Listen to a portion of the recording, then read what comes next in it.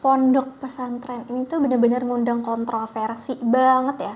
Asli deh. Mulai dari ajaran yang menyimpang sampai merembet ke kasus politik loh. Tapi kok bisa masih beroperasi padahal banyak rumor negatif. Ternyata backingannya banyak banget bro. Mulai dari pejabat, politisi, bahkan katanya ada jenderal juga loh. Bahkan sampai ada rumor bahwa para santri itu boleh untuk membayar dosa zina mereka dengan uang. Para para para para para para. Ditambah pas ceramah saat Idul Fitri, Panji Gumilang ini memasukkan beberapa kalimat dari Alkitab. Jadi sebenarnya Anda mengajarkan agama apa?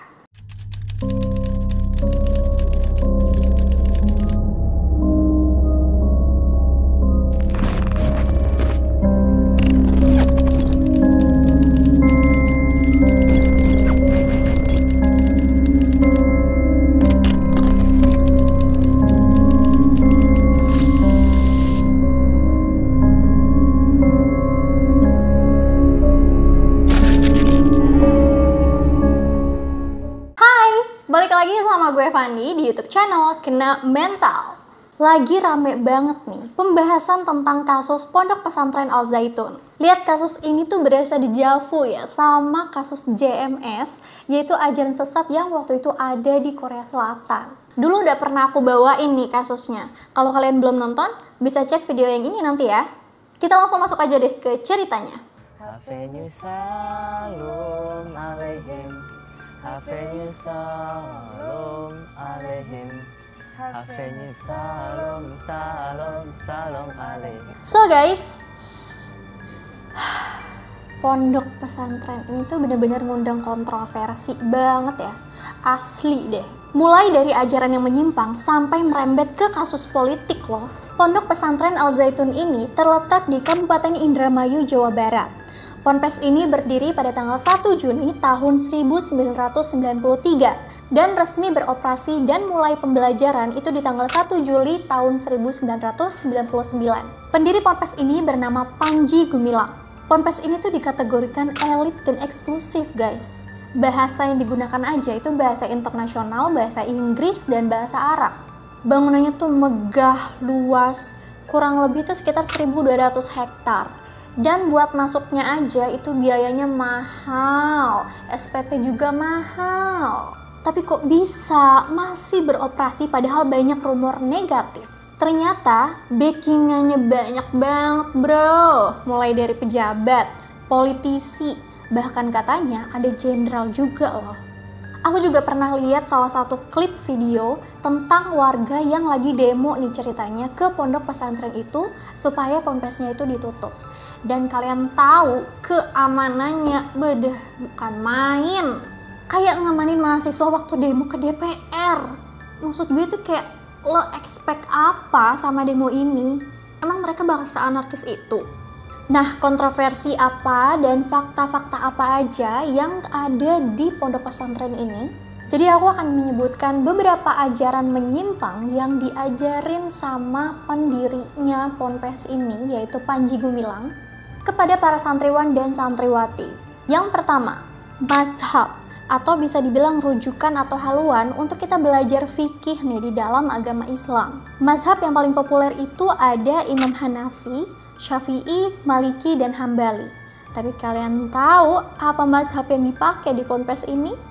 Yaitu mazhab Bung Karno. Hmm, aneh. Ada yang pernah dengar? Yang kedua, sholat yang harusnya safnya itu diluruskan, dirapatkan, mereka social distancing. Jadi tuh kayak sholatnya tuh dijarakin per orang satu meter. Katanya biar kalau misalnya kita ceritanya tuh habis makan jengkol, makan pete atau buat lolo tuh yang pada punya burket, jadi nggak bikin bau orang sebelah loh. Ditambah perempuan yang harusnya berada di belakang saf laki-laki, ini tuh disejajarkan jadi kayak sebelah-sebelahan sama laki-laki dan gak ada sekat di antara mereka. Selanjutnya, cara azan. Aku pernah lihat cuplikan salah satu santri yang lagi azan nih di Ponpes Al Zaitun.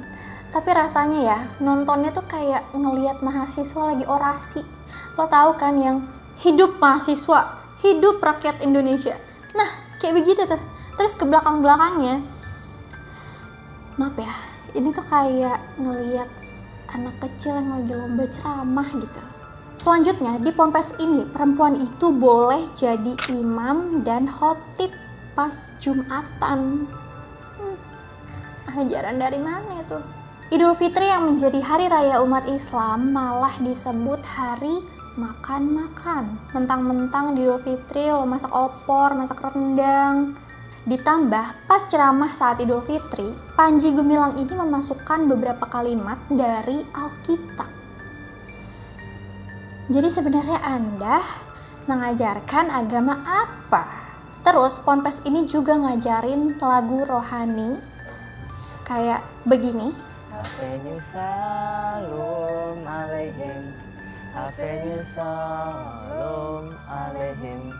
Hafenyu salam salam salam alaihim yaitu Havenu Shalom alaihim. Jadi kalimat ini tuh sebenarnya merupakan kalimat salam yang berasal dari bahasa Ibrani yang artinya semoga damai menyertaimu. Tapi bisa dibilang ini merupakan lagu tradisionalnya kaum Yahudi. Bahkan lagu ini dulu tuh masih suka dinyanyiin di gereja. Alias harusnya kan bukan umat Islam ya yang nyanyi. Apalagi ini pondok pesantren. Ya ampun. Selain lagu yang tadi, ada lagi nih lagu rohani lain yang berjudul Hava Nagila. Jadi Hava Nagila ini artinya marilah bernyanyi dan mereka tuh pernah nyanyiin bareng-bareng gitu di suatu acara. Next, setelah berdoa biasanya kita akan mengucapkan amin. Tapi beda nih sama ponpes ini. Panji itu bilang, kalau misalnya habis berdoa, kita nggak boleh bilang amin, tapi bilangnya alhamdulillah. Karena menurut Panji, dia mengatakan bahwa kalau misalnya kita habis berdoa terus kita ngomong amin itu nggak akan dikabulin doanya jadi kayak seakan-akan kita itu meragukan Allah akan mengabulkan doa kita jadi kayak mengandai-andai gitulah nah makanya dia bilang tuh habis berdoa disuruh baca alhamdulillah gimana menurut kalian Duh, masih banyak deh pokoknya sampai nggak bisa gue sebutin lagi satu-satu Bahkan sampai ada rumor bahwa para santri itu boleh untuk membayar dosa zina mereka dengan uang. Para para para para para para. Dan ada alumni Ponpes juga nih yang bilang kalau dia dulu tuh pernah mengantarkan beberapa santri ke kayak klub clubbing gitulah yang lumayan terkenal di daerah Indramayu dan ibaratkan para santri ini tuh kayak dijual gitu karena mereka nggak bisa bayar SPP. Jadi ini tuh khusus buat orang-orang yang bisa dibilang entah telat ataupun nggak mampu untuk bayar SPP-nya. Masyarakat mengadukan ponpes ini ke pihak berwajib dengan laporan penistaan agama. Nah, di luar dari kesesatan ajarannya, ponpes ini juga terlibat kasus politik sampai pencucian uang.